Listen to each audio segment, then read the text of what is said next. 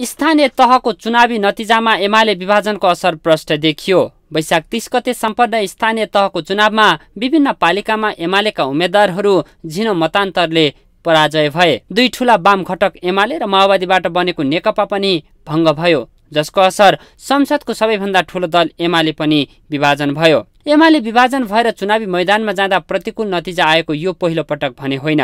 दुई हजार चौन्न सालमा एमाले विभाजन भएर माले बन्दै चुनावी मैदानमा जाँदा प्रतिकूल नतिजा स्वीकार्न बाध्य भएको थियो। त्यसैको परिणाम यसपटक पनि तत्कालीन नेकपा र एमाले विभाजनको फाइदा काङ्ग्रेसले लियो। स्थानीय तहको परिणाम आएसँगै वामपन्थी नेताहरू फेरि पनि एकताको राग अलाप्न थालेका छन्। सङ्घ र प्रदेशको आसन्न निर्वाचनको नाफाघाटा केलाएर हुनुपर्छ।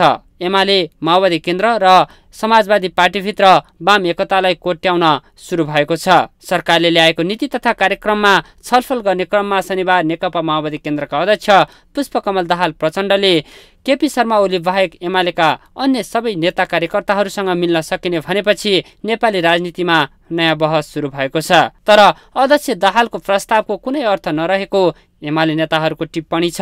लोकप्रिय मत जो छ हाम्रो वास्तवमा यिनीहरूले सत्ताको चरम दुरुपयोग गरे हत्या गरे हिंसा गरे बुथ कब्जा गरे प्रदेश र केन्द्र सरकारको भरपुर दुरुपयोग गरे त्यसबाट केही उपलब्धि हासिल गरे मात्रै हो लोकप्रिय जनमतमा अहिले पनि हामी आठ दस लाख मतले अगाडि नै छौँ। त्यस कारणले हामी अब यो वामपन्थीका नाममा दक्षिणपन्थीलाई अब किस्तीमा सत्ता बुझाउनेहरूसँग अहिले एकता हुन्छ भन्ने कुरा कल्पनै गर्न सकिँदैन।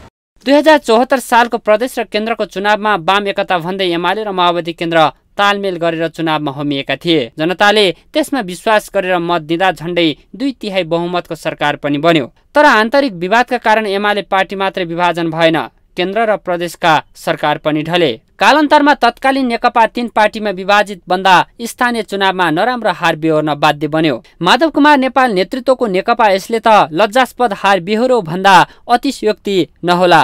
सायद यही चुनावी नतिजाले ऐना देखाइदिएर होला नेताहरू फेरि वाम एकताको सन्दर्भ उठाउन हतारिएका छन्।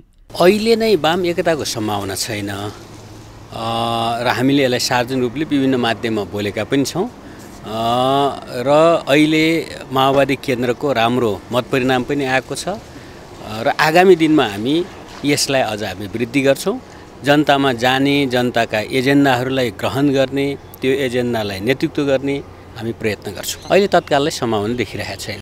तत्कालीन नेकपा फुटेपछि जनतामा कम्युनिस्टहरूप्रतिको विश्वास र भरोसा तुर्दै गएको भर्खरै सम्पन्न स्थानीय निर्वाचनको परिणामले देखाएको छ। दुई हजार चौन्न सालमा पार्टी विभाजन भएपछि नमिठो हार बेहोरेको नतिजा यी वामपन्थी नेताहरूले बिर्सिएका भने पक्कै छैनन् होला।